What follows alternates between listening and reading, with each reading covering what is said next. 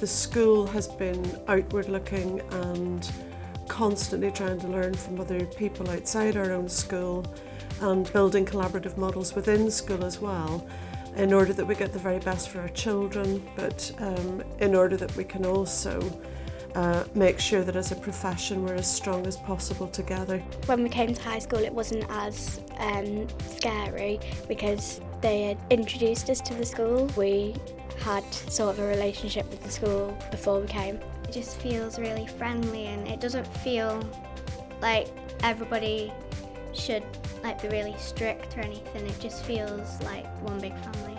We do a lot of work with other schools and trying to help our school be the best in the area. We've become very successful and we're not complacent in saying that or arrogant because we have reached out to the educational community. I'd be absolutely thrilled if we were to win. I'm very proud of what this school has achieved.